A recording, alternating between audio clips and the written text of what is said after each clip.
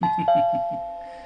Hey guys, welcome back to Streaming Nerds and in this video we're gonna talk about how you can send an image from Google Docs to your Android phones. So basically other day I was editing a Google Doc and I wanted to send an image from my Google Docs to my Android phone and it was a little bit problematic so I found a way and that's what I'm gonna share it with you. So first of all you need to head over onto your mobile phone screens. So now the next step is to go on to Google Play Store and search for the app Google Keep. So I'm gonna tap on Google Play Store. From the main screen of Google Play Store, just search for Google Keep.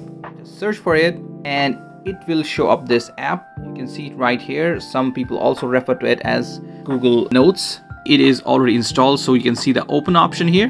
But if it's not installed for you guys, so install it and it open. I'm gonna hit open because it's already installed. And once it is open you can see it shows list of things that I have in here. And now what I'm gonna do is I'm gonna head back to my Google Docs document.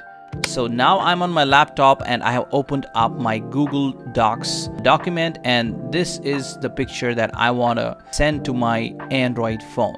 So what you're gonna do is you're gonna right click on the image and then in here you're gonna click on view more actions. In here you're gonna click on save to keep.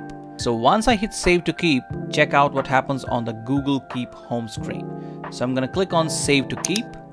It's saving it up and there you go. You see, now we have an image on our Android phones. Now if I click on it, I get a number of options. I can copy it, I can send it. If you click on send, you can see you get all the options to send it through WhatsApp, send it to X, to Instagram, wherever you want. So in this manner, you can share images from your Google Docs to your Android phones, and then you can share it on your social media or wherever you want.